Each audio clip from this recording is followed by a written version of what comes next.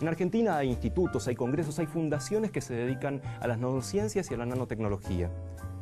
Y entre estos convencidos de que lo pequeño es hermoso, hay un doctor en química de la Universidad de Buenos Aires, que trabajó en nanomateriales complejos en la Universidad de París, y ya hablaremos de qué es eso. Es investigador del CONICET y de la Comisión Nacional de Energía Atómica, donde dirige justamente el grupo de nanomateriales, y es profesor también de la Universidad de Buenos Aires y la Universidad Nacional de San Martín. Y hoy desde la ciencia nos visita Galo Solelilia.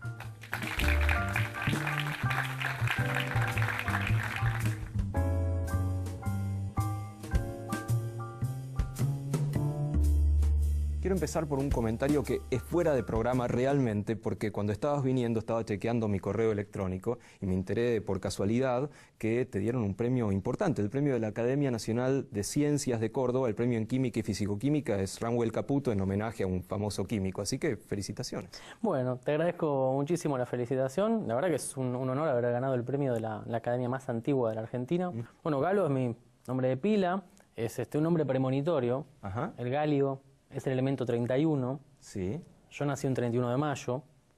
El 31 de mayo salía la energía atómica. Galio remite a, la Galia, Francia, y yo me fui a hacer el postdoc a Francia y mantengo muy buenos nexos. Así que es como un nombre que me ha predestinado.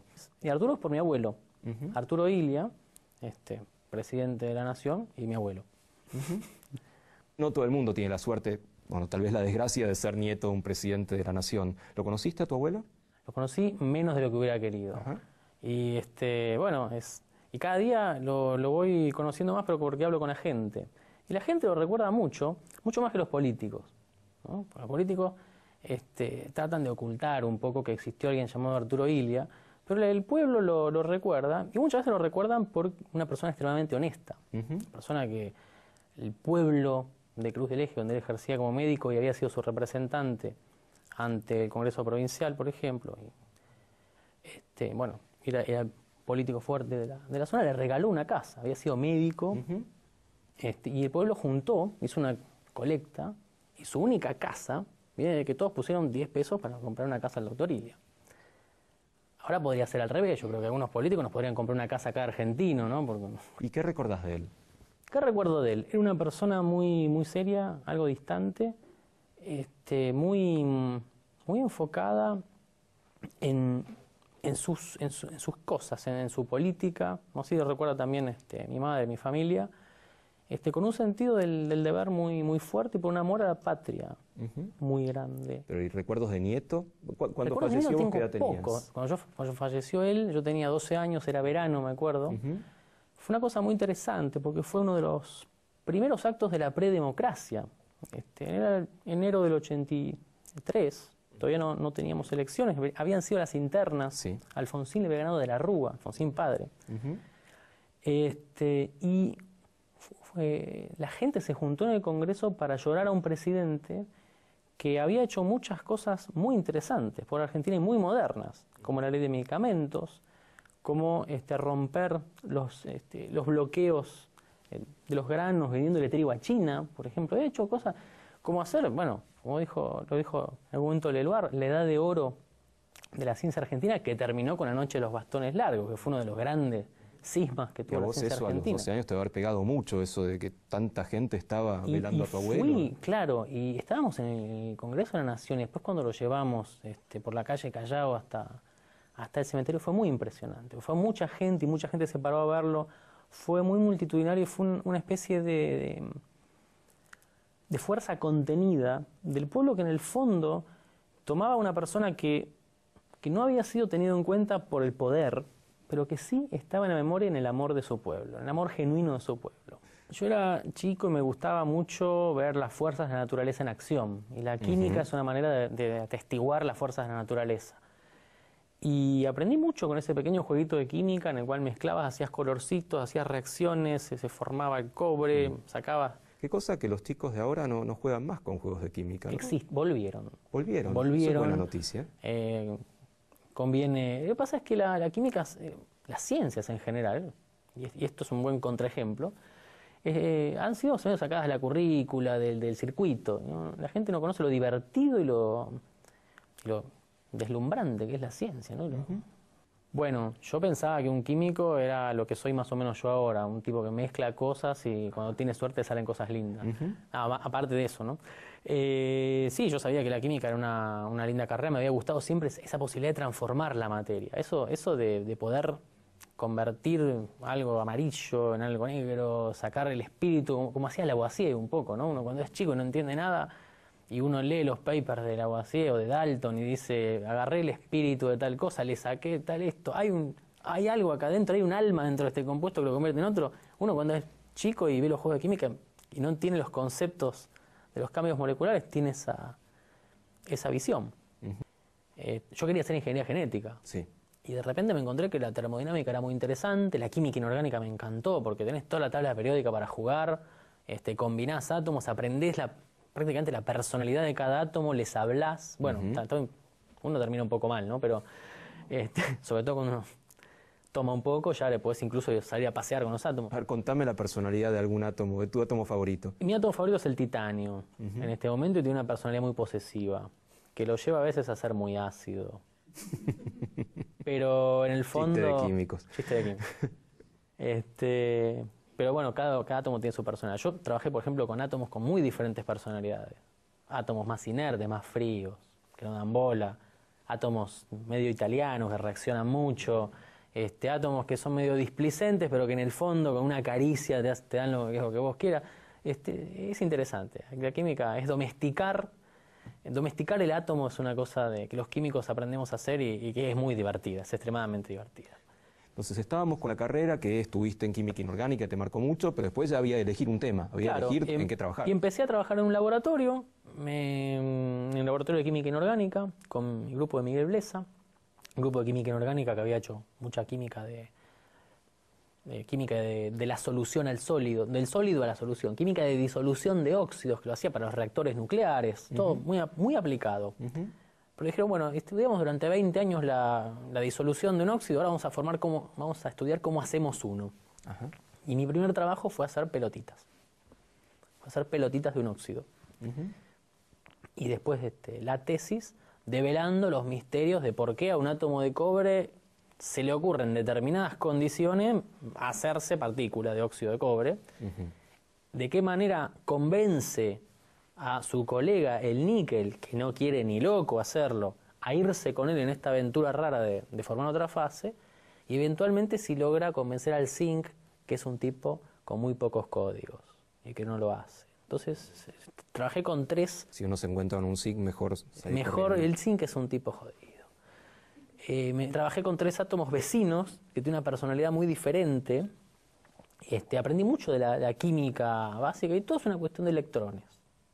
Cuando decís trabajé, ¿estás hablando de laboratorio, de tubos de ensayo, de pipeteo o de computadora? No, laboratorio. Yo soy una rata de laboratorio. Bueno, dije, vamos a hacer una experiencia en el exterior.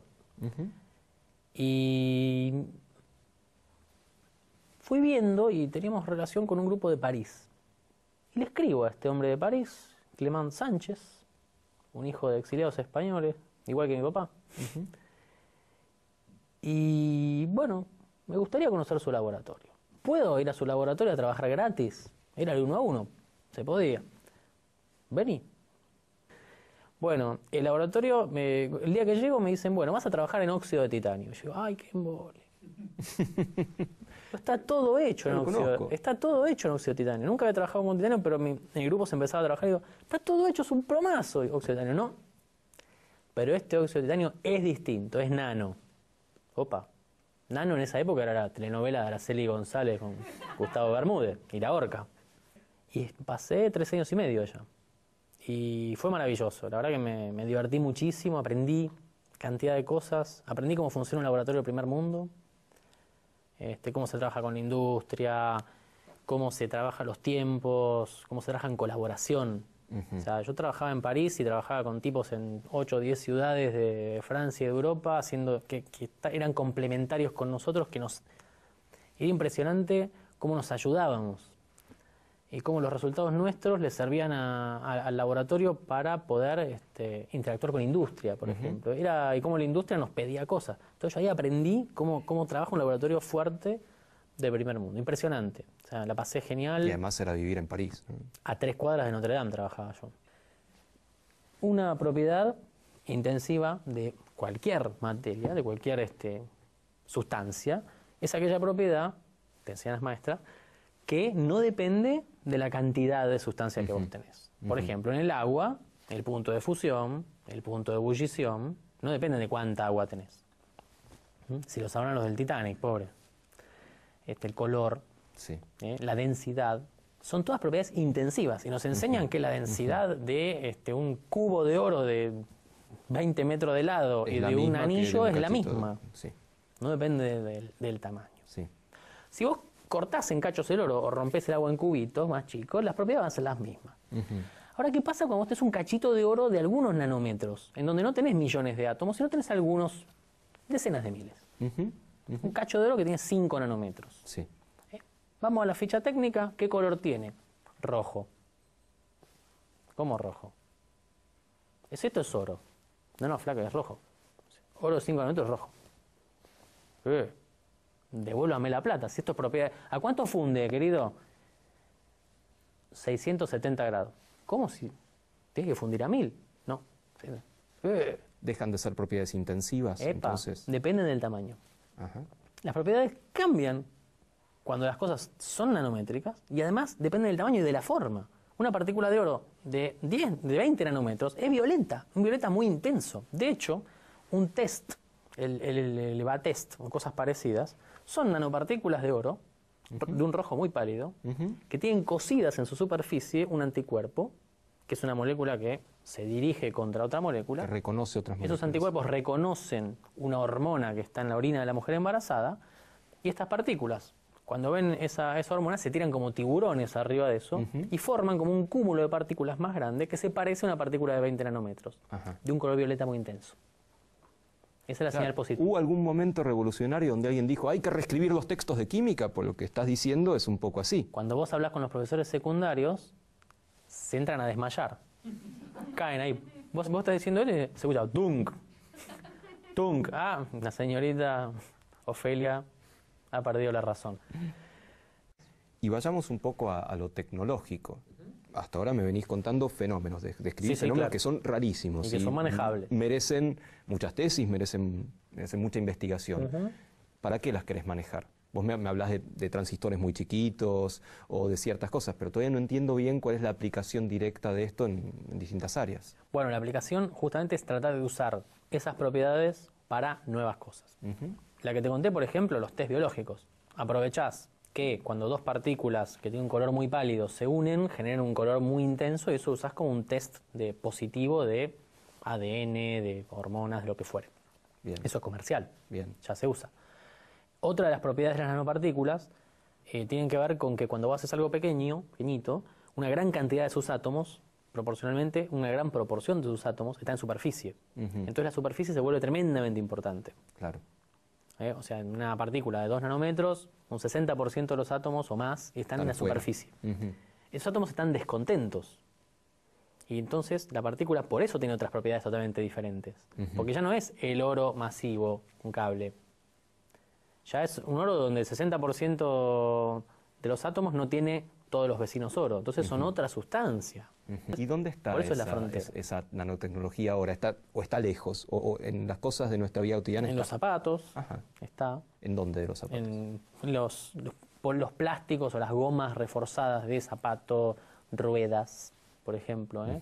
las nanopartículas, bueno, todos esos, eh, los cauchos, por ejemplo son moléculas muy largas, como tallarines. A esos tallarines, para que no fluyan entre ellos, hay que entrecruzarlos, coserlos un poquito. Eh, vos podés coserlos con partículas que agarran estos tallarines y los hacen más rígidos. Eh, y eh, poner nanopartículas ahí adentro ayuda muchísimo a reforzar. Es mucho, un, un caucho con nanopartículas es mucho más fuerte es más fuerte y lo que es más interesante, no requiere de un montón de compuestos que pueden ser contaminantes. ¿Y eso está en las ruedas de los autos? Eso está en lo que se llaman los neumáticos verdes, que no es que sean verdes, sino que son más ecológicos porque dispersan menos material al medio ambiente, por ejemplo. Otro ejemplo clásico, clásico, clásico de todos los días es los catalizadores de los autos. ¿Mm? El auto tiene un catalizador que cuando va al mecánico lo primero que cambia, lo primero que se rompe. ¿Y el catalizador de qué se encarga? El catalizador se encarga de justamente los gases que salen de una combustión incompleta o que salen de una combustión mala, nitrógeno más oxígeno del aire a la temperatura que en un cilindro forman óxido de nitrógeno, bueno, esos catalizadores atrapan el óxido de nitrógeno y ¿qué pasa? Son, hay, dentro de esos catalizadores hay pequeñas nanopartículas cuya superficie es enorme, los átomos que están en superficie muy descontentos, son unos piqueteros moleculares más o menos, agarran el óxido de nitrógeno y le dicen, eh, vení para acá, te rompo todo, truc, y lo convierten en nitrógeno y oxígeno. Se llama catalizador. Cuanto más superficie esté expuesta, más rápidamente va a ocurrir esa reacción y más eficiente va a ser la catálisis y va a ser menor el impacto del medio ambiente. Eso es estándar de hace años. Y lo que se hace de eso es este, bueno, hacer nuevas catálisis. Y después hay un montón de otras cuestiones muy interesantes. Este, hay aplicaciones en medio ambiente, en energía, en la raqueta de Del Potro. ¿eh? Es, un, es un ejemplo te digo la del potro por, la tiene partículas que la hacen particularmente, no sé, más, más fuerte o que le pegue más rápido. bueno, una, rama de la nanotecnología es los materiales híbridos, en la cual vos usás todo lo que vos conocés de química inorgánica, todo lo que vos conocés de materiales orgánicos, de polímeros y de cerámicos, por ejemplo, los integrás en un nuevo material que está como imbricados, ¿eh? los orgánicos inorgánicos a escala nanométrica, tiene una gran superficie de contacto, ¿eh? se pegotean enormemente y las propiedades son regulables. Entonces vos podés hacer una raqueta que pegue fuerte pero no vibre, que absorba el impacto. El caso de, este, del potro que está con materiales híbridos. Nalbandian tiene otra tecnología. ¿Que no es nanotecnología? sí, sí. ¿También nano? Todas son nano, es como, sí. Eh, es como los partidos políticos. Eh, los, las raquetas de Nalbandian la, tipo marca esa, trabajaba con aleaciones nanoestructuradas de titanio. Metal nanoestructurado que tiene este, ventajas también en la rigidez, en la parte mecánica. O sea, hay, hay muchas aplicaciones. todo el día pensando en esto? ¿Por dónde pasa tu vida? ¿Estás todo el día pensando en, la nanoquímica o, tenés otros intereses un poco más mundanos y no tan chiquitos por ahí? Sí. ¿Qué, ¿Qué, te interesa además de la química? No, a ver, este, Vos sabés cómo es esto. Uno esto lo lleva en la sangre y, lo ve por todos lados. Quería aumentar una última cosa con vos. Nosotros compartimos algo, además de la ciencia y haber pasado por, exactas, que es que contamos lo que hacemos y contamos lo que hacen otros. Y tenemos un cierto pasado y presente en común, que es participar de un programa de tele, básicamente, de científicos de industria argentina, con el gran Adrián Paenza, que creo es... Un faro es lo más. Y es, él es el que empezó a hacer esto masivamente, a hacerlo en la tele. ¿sí? ¿Cómo llegaste a eso? ¿Cómo llegaste a, estar en la tele, a tener ganas, a contar la ciencia para, todo el mundo? Yo creo que es parte del deber que uno tiene.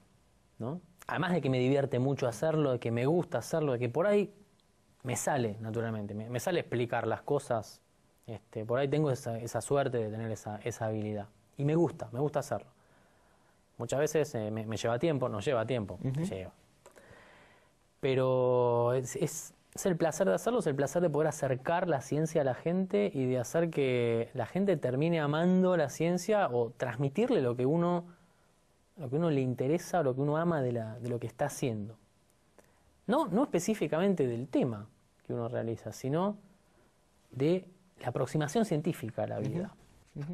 Eh, y bueno, terminé llegando, no sé, creo que vos me debes haber recomendado para que Adrián vaya a visitar el laboratorio y, mm, y Adrián vino, le gustó lo que, lo que vio y de ahí me llamaron para hacer algo de nanotecnología. ¿No te querés hacer una columna de nanotecnología? Digo, de nanotecnología, pero aquí... Una chiquita. Ah, claro, una columna chiquita, 10 nanosegundos. Y bueno, y ya llevamos como 5 años, más de 60 micros, eh, yo ya no encuentro ni qué decir. No, siempre se encuentra qué decir, este, se revisitan cosas, este, uno aprende un montón. Recomendame tres libros. Tres libros.